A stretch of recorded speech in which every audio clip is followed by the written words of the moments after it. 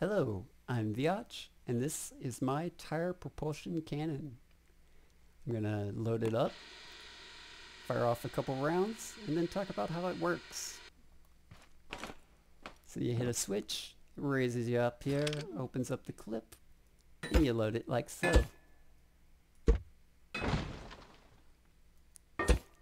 I decided to go with the long blue tubes because, well, come on, I mean, they look like shells. But besides that, I, I feel like they don't rub on the sides in a one hole, space hole like a square object would. Square objects tend to have friction, where these seem like they're maybe a little bit smaller or maybe just because their surface area that's in contact is less, so the friction's less. Uh, but also, I like that it's three long because I, what I'm going for, let me fire this up, fire a couple off, is the back end to hit one tire and the front end to hit another tire. This causes the back tire to push forwards and down, while the front tire pushes forwards and up. This causes the shell to spin. And there you go. And that's usually what tends to go the furthest is the ones that spin like that.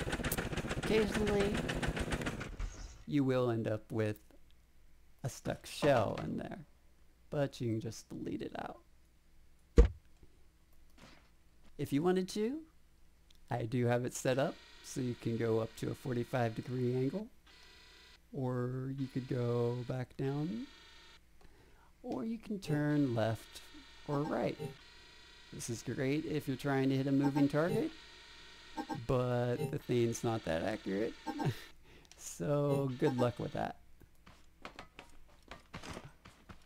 Alright, so now let's talk about how it works.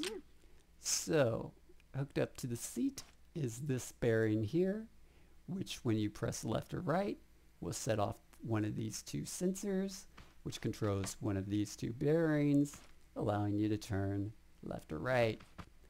Next is the box hooked up to the seat that controls this bearing here. And what this box does is each time you hold forward for a period of time, it'll go up 15 degrees.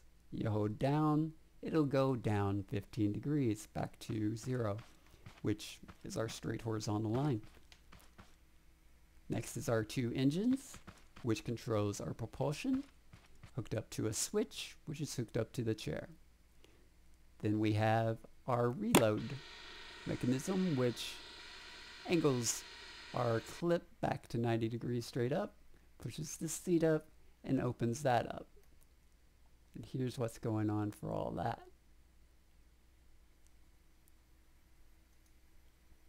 Then last is our box for our firing mechanism. And what that does is it moves this to the right, pushing a shell to the right. And then this bearing moves out of the way, allowing the shell move to the right. And once it's to the right, it goes back in place, pushing the shell down if it hasn't fallen already. Back here is a bearing that just allows a pipe to spin on the back because I wanted the shells to go downwards um, first in the back and be upwards in the front so I could get my angle better and that just allows that to happen. Now this isn't the best cannon, I wouldn't say or the definitive cannon, because as you can see it's not all that accurate. Sometimes you'll end up with boomeranging effects of shells flying way back behind you. But then other times you'll end up with something magical like these two shells that ended way past even my firing range. So like yeah, sometimes, what? It's just, yeah, the, wow. Okay, this had to roll a ways, but yeah, this thing was fired from that cannon way over there. this is amazing. I didn't even know this was here. Um, but yeah, that is the tire propulsion cannon.